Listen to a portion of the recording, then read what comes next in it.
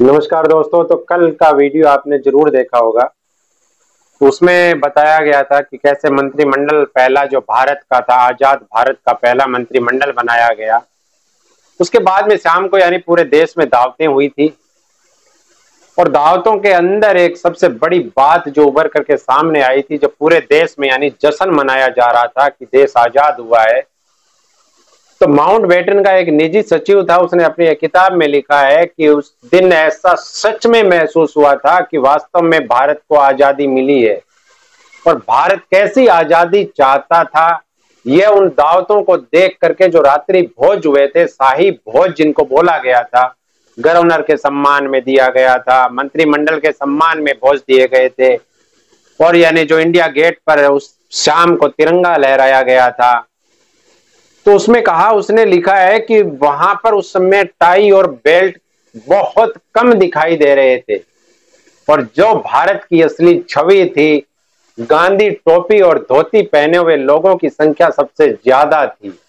यह mount batten के निजी सचिव ने कहा था कि वास्तव में ऐसा, यानी आज़ादी के बाद में महसूस हुआ कि यह देश क्या चाहता था।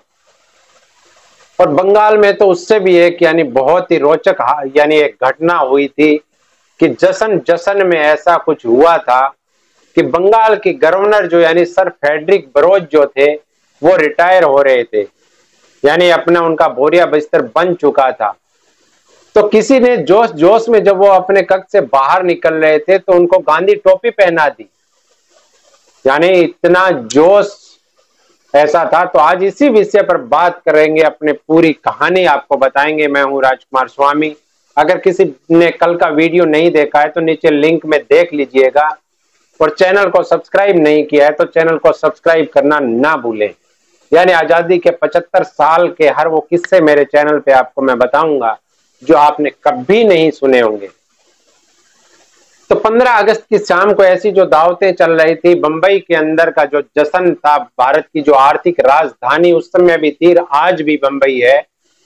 तो उस समय बंबई के मेयर ने ताज होटल जो यानी मुंबई का सबसे, यानी शानदार होटल था, उसके अंदर एक पार्टी रखी थी। और उसी से थोड़ा यानी एक दूर जगह थी, शिलोंग तो शिलोंग के अंदर भी एक दिलचस्प नज़ारा देखने को मिला था जब चार धर्मों के चार युवाओं ने पहली बार राष्ट्रीय ध्वज फहराया था। और वहाँ के जो यानी शासक थे, उनसे पूछने पर उन्होंने बताया कि यह देश की आज़ादी का असली जो चेहरा है, वो इन चार युवकों के मन में आपको दिखाई देगा, क्योंकि इन चारों धर्मों के चार युवाओं ने, और यह आज़ाद भारत है, ये युवाओं का भारत है। और भविष्य का जो भारत है, वो इन चार युवाओं को देख करके पता चलेगा। तो आज सोचने वाली बात होगी कि क्या हम उन चार युवाओं के प्रतिनिधित्व को सही हम दिशा दे पाए हैं, उस तिरंगे को उन्होंने फहराया था, ये आज हमारे को सोचना पड़ेगा। और बनारस में भी एक बहुत अच्छा हुआ था कि यानी एक मुस्लिम ने सबसे पहले बनारस में राष्ट्रीय ध्वज को फहराया था। तो यह भी एक बहुत ही रोचक नज़ारा था, एक धार्मिक नगरी भारत की बनारस है। लेकिन आज़ादी का जो जश्न था, वो सभी धर्मों के लोग मना रहे थे। और दिल्ली के अंदर कम से कम 300 जगहों से पूरी दिल्ली में जश्न का माहौल था, बंगाल में जश्न का माहौल था, सब जगह जश्न का माहौल था। महात्मा गांधी उस समय बंगाल में थे जगह जगह पर प्रभात फेरियाँ निकाली जा रही थी। और अंग्रेज़ी के एक अखबार ने उस समय लिखा था कि ऐसा न्यूयॉर्क के अंदर भी ऐसा नहीं होता जब टाइम स्क्वायर पर इतनी भीड़ कभी नहीं देखी होगी, जितनी भारत के आज़ादी के जश्न में। और उन अंग्रेज़ों के प्रति, जिन अंग्रेज़ों के प्रति एक दिन पहले तक नफरत थी, जिन अंग्रेज़ों के उस कार्य, यानी कोर्ट को देख करके और टाई को देख करके जिन भारतीयों को नफरत होती थी, आज यानी 15 अगस्त को वो नफरत भी उनके मन में नहीं दिखाई दे रही थी। सिर्फ़ चारों तरफ़ आज़ादी का जश्न दिखाई दे रहा था। और एक भारत के अंदर यह आज़ादी का जश्न था, लेकिन उससे थोड़ी दूर पे आपको जब यानी एक देश और भी आज़ाद हुआ था एक दिन पहले, हमारा ही पड़ोसी, यानी एक दिन पहले वो और हम एक थे। लेकिन जब 15 अगस्त आई तो दो राष्ट्र बन चुके थे। एक ही माँ के दो बेटे थे और एक बेटे ने अलग होना स्वीकार कर लिया कि मैं बंटवारा चाहता हूँ और उसका नाम था पाकिस्तान। पाकिस्तान में उस दिन क्या हुआ था, उसकी थोड़ी सी झलक मैं आपको दिखा देता हूँ। पाकिस्तान में उस समय बंटवारे का जो पूरा था, यही आज़ादी के बाद में दोनों देशों में एक जो सबसे घिनौनी हरकत हो रही थी, जो बदनाम करने वाली बात थी वो यह थी कि शहरों के अंदर आज़ादी का जश्न मनाया जा रहा था, लेकिन बंगाल और पंजाब ऐसी जगहें थी जहाँ पर मातम भी मनाया जा रहा था और मातम था उन लाखों लोगों का, उन एक करोड़ लोगों का जिन्होंने इधर से उधर होने के बारे में फैसला लिया था। लेकिन अगर आराम से हो जाते तो कोई दिक्कत नहीं थी। लेकिन जब वो यानी बंटवारा हुआ तो उस समय कुछ ऐसा यानी मंजर हुआ था कि देखने लायक नहीं था। दस लाख लोगों ने इस मंजर में अपनी जान गंवा दी थी। यानी दुनिया के कहीं भी किसी भी मुल्क का ऐसा बंटवारा नहीं हुआ होगा जैसा हमारे भारत का हुआ था। दस लाख लोगों ने अपनी जान गंवा दी थी। और उस बंटवारे में उस शाम को यानी लाहौर के अंदर जो नया गवर्नर था, वो उसने क्या किया था? वो रात्रि भोज दे रहा था। यानी दावत चल रही थी लाहौर में।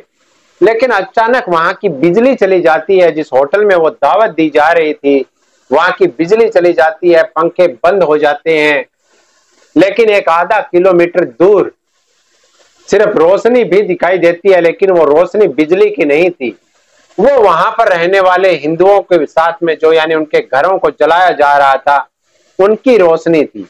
ऐसा ही कुछ हमारे इधर पंजाब में हो रहा था जब मुसलमानों के साथ में ऐसा बर्ताव किया जा रहा था, जब उनके घरों को जलाया जा रहा था, उनके साथ में मारपीट की जा रही थी। एक तरफा कहीं पर भी कुछ ऐसा नहीं था कि माहौल एक तरफा था। दोनों तरफ़ थे। लेकिन एक बात मैं बोलना चाहूँगा उस समय। उस समय महात्मा गांधी नोआलकी में बंगाल में बैठे थे और वो चाहते थे और उनके एक आमरण अनसन ने नोआलकी में बंगाल में दंगों को बंद करा दिया था। तब एक अंग्रेज़ अफसर ने, एक अंग्रेज़ी अखबार में यह लिखा था कि एक हार्ड मास के शरीर ने वह काम कर दिखाया जो यानी हमारी ब्रिटिश सेना नहीं कर पाई थी, क्योंकि तो ब्रिटिश सेना जो है वो दंगे रोकने में नाकाम रही थी। तब उस अंग्रेज़ अफसर ने लिखा कि एक हार्ड मास के शरीर ने जो है, उसने पूरा एकदम से ऐसा ब्लॉक कर दिया था। और वो ब्लॉक क्या किया था? कि नवालकी में जो भयंकर दंगे थे, वो बंद हो चुके थे। तो महात्मा गांधी ने वहाँ से एक संदेश भी दिया था पाकिस्तान को कि आप जो हैं, मैं कोशिश कर रहा हूँ, भारत के अंदर तो आप भी कोशिश कीजिए, और ऐसा नहीं हो कि यह जो आज़ादी है, वो इतने भयानक रूप में आए कि जिसे दोनों देशों की जो आम जनता है, वो स्वीकार नहीं कर पाए। लेकिन महात्मा गांधी की बात नहीं मानी जा रही थी। पाकिस्तान के नेताओं को यह समझ में नहीं आ रहा था। भारत के जो नेता थे, वो चाहे किसी भी पार्टी के थे, वो लेकिन दंगों को नियंत्रण में करने की पूरी कोशिशें कर रहे थे। लेकिन पाकिस्तान में जिन्ना ने कोशिश तो की, लेकिन कोशिश क्या की? कोशिश की उन्होंने, वो कराची तक ज़रूर गए। लेकिन जो मुख्य जहाँ पर दंगे हो रहे थे, कराची एक मुस्लिम बाहुल्य एरिया था, वहाँ पर इतने दंगे नहीं हो रहे थे। लेकिन जहाँ यानी लाहौर जैसे शहर में जहाँ पर सबसे ज़्यादा मारकाट हुई थी, वहाँ पर जिन्ना ने जाना उचित नहीं समझा और ना ही पाकिस्तान के नेताओं ने कोई बयान देना उचित समझा था उस समय।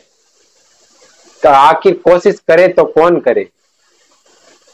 ऐसी दावतें पाकिस्तान में हो रही थी, लेकिन ऐसी दावतों का क्या यानी वहाँ पे महत्व कोई औचित्य नहीं था। चाहे वो पाकिस्तान का रहा हो या भारत का रहा हो, यानी सही मायने में अगर कहा जाए तो आपको मैं बंटवारे का जो आगे भी जो अगला एपिसोड आएगा, उसमें आपको बंटवारे की मैं ऐसी वो दिखाऊँगा, दर्दनाक दास्तान। आप देखते रहेंगे। तो दोस्तों, आज का वीडियो आपको कैसा लगा?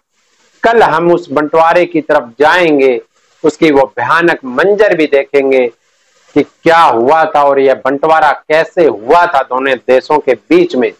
तो दोस्तों, श्रृंखला लंबी चलेगी वीडियो की। तो मैं चाहूँगा कि आप चैनल को सब्सक्राइब करना ना भूलें। जय हिंद